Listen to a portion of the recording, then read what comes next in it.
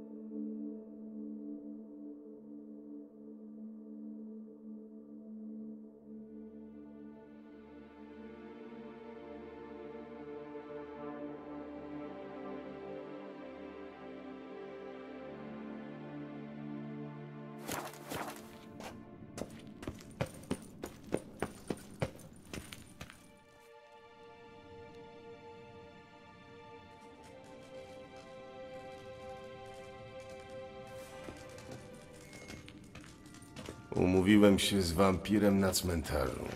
Może być większy banał? Haha, nawet jeśli jest, to rzeczywiście żaden nie przychodzi mi do głowy. Przynajmniej drzwi mogłeś zostawić otwarte. Wysoko sobie cenię moją prywatność. Wolałem, żeby nie dostali się tu jacyś niepożądani goście.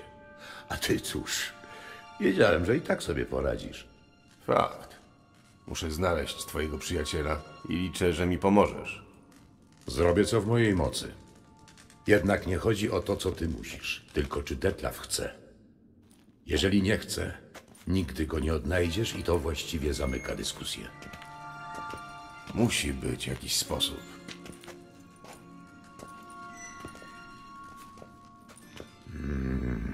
Nie wykryjesz wampira swoimi zmysłami, nie działa na nas magia dywinacyjna. Nic nie da użycia nawet najbardziej dokładnego megaskopu. A to może pomóc? Skąd to masz? Jedną z ofiar bestii znaleziono w zakolu rzeki. Przy pociętym trupie znalazłem trzy dłonie. Ta z pierścieniem na palcu wydała mi się nie pasować do reszty. Poza tym interesowała się nią Brooksa.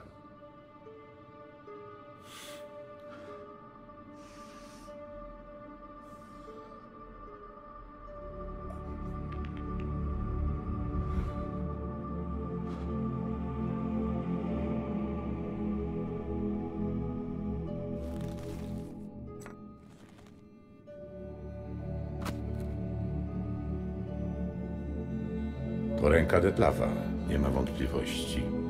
Nada się. Intryguje mnie ten pierścień.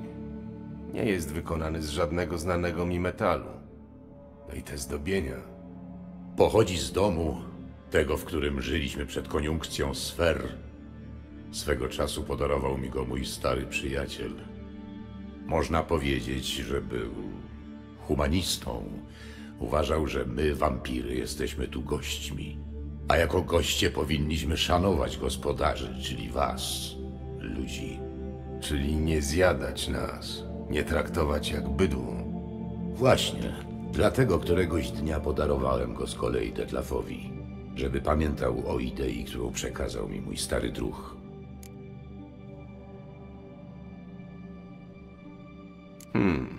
Co chcesz zrobić z tą ręką? Słyszałeś o teorii Kowinariusa, o zachowaniu pamięci w tkankach? Czekaj, coś mi świta. Czytałem o tym w Alchemia Oblitera. Kermoren mieliśmy jeden egzemplarz, strasznie zniszczony. Ale o ile pamiętam, Kowinarius nigdy tego nie udowodnił. Udowodnił. Tyle, że nie zdążył opublikować. Ale pisywał do mnie, byliśmy przyjaciółmi. Stąd wiem, że ukończył badania i przeprowadził pierwsze testy.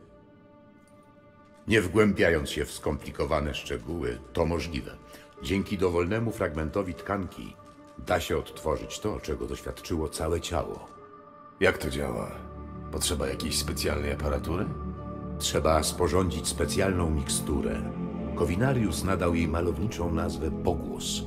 Po spożyciu wpada się w trans, zbliżony do narkotycznego.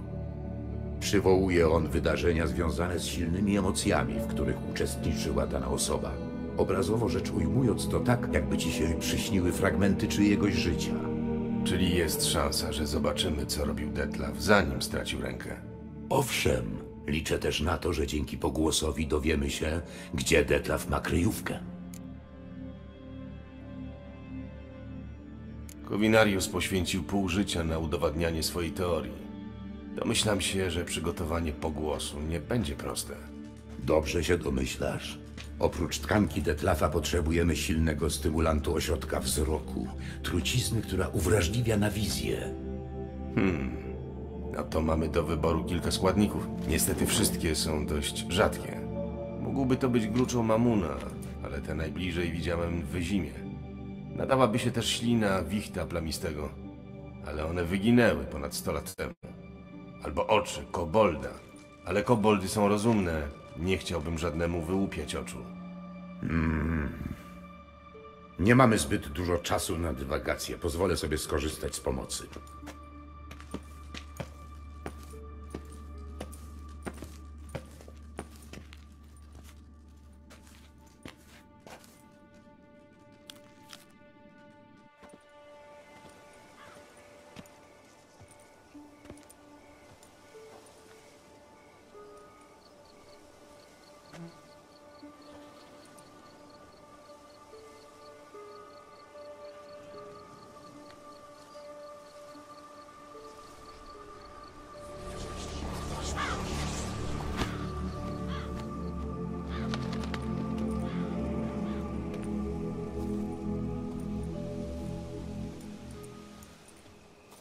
Co to było?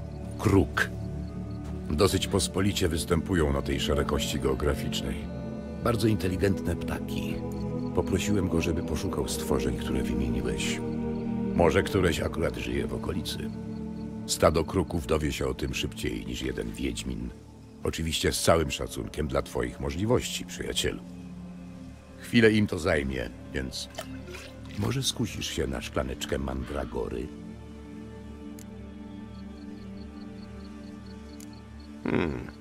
Nigdy nie odmawiam. Niestety to tylko napar, a nie bimber. To nawet lepiej. Pamiętam, że po twoim bimbrze z Mandragory ludzie mówili rzeczy, których nie chcieli nikomu opowiadać. W takim razie czego Geralt z Rivi nie chciałby mi powiedzieć? He?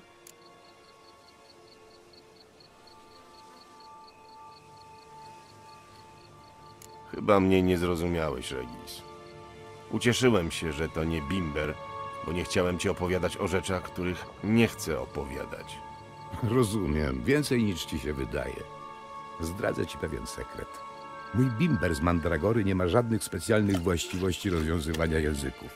Ci, którzy go piją, po prostu od czasu do czasu chcą zrzucić z siebie jakiś ciężar. Bimber jest tylko pretekstem, żeby mogli usprawiedliwić się przed sobą. W takim razie może najpierw ty zdradzisz mi jakąś swoją tajemnicę. Wampiry to bardzo intrygujące stworzenia. Ale czy interesuje cię coś konkretnego? Ciekawy jestem, co się z tobą działo po tym, jak ożyłeś. Cóż, jak zapewne się domyślasz, długo dochodziłem do siebie. Zresztą wciąż nie odzyskałem pełni sił. Ale wtedy byłem tak słaby, że przez pierwszy rok nie mogłem poruszać się o własnych siłach. Detlaf cierpliwie znosił moją słabość. Gdyby nie on, nie byłoby mnie tu, a regeneracja postępowałaby znacznie wolniej.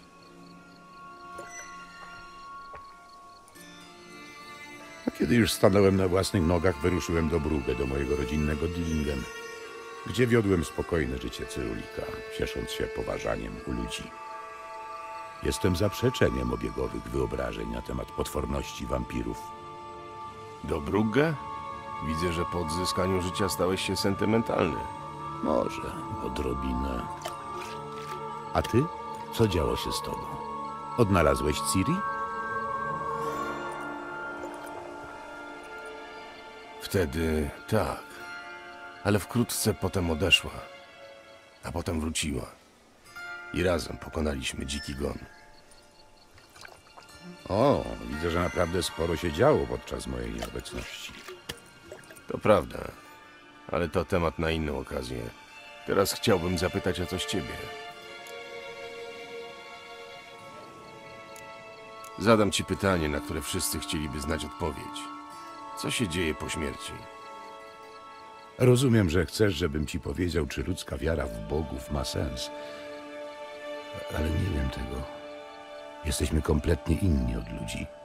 Nasza materia może istnieć bezpostaciowo. Nie potrzebujemy do tego ani serca, ani mózgu, ani powietrza.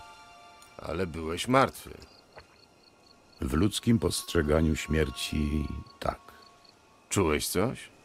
Rozumowałeś? Trudno to wyjaśnić. Odczuwałem coś bardzo niepokojącego, coś, czego nie mogłem nazwać, bo nie rozumowałem. Dopiero po regeneracji pojąłem, że to, co czułem, to było zimno i niewyobrażalny strach. Gdyby nie Detlaf, byłbym zatopiony w wieczności lodowatego lęku. Czyli jednak nie żyłeś. To musi być przejmujące przejść coś takiego.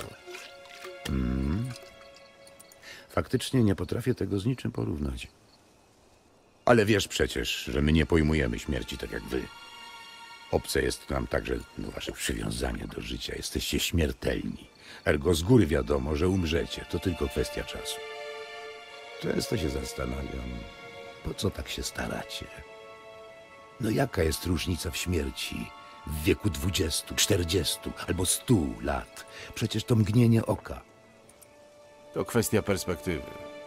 Ktoś, kto ma do wydania miliard koron, nie zrozumie kogoś, kto ma ich dwadzieścia. Masz rację. Punkt widzenia wiele zmienia. Skoro dostałeś nowe życie, to może mogłeś zacząć wszystko od nowa. Zacząć wszystko od nowa to bardzo szerokie pojęcie. Masz coś konkretnego na myśli? Chociażby twoje uzależnienie od krwi.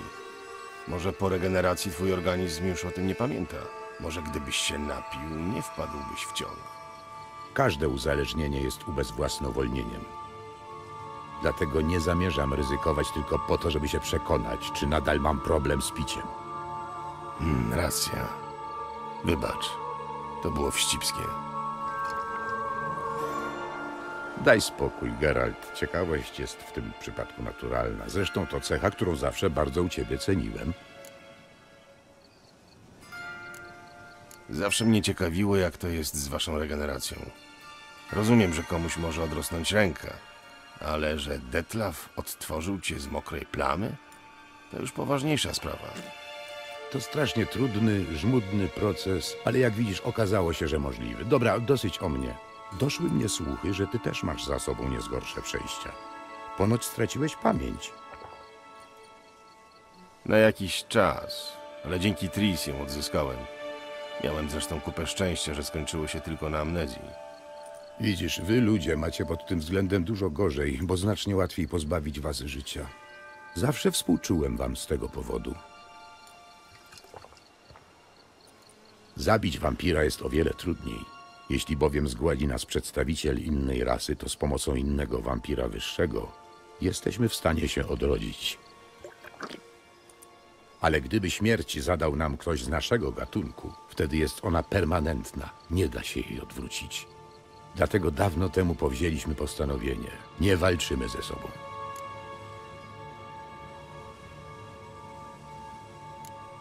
No dobra, możesz mi zadać jedno pytanie.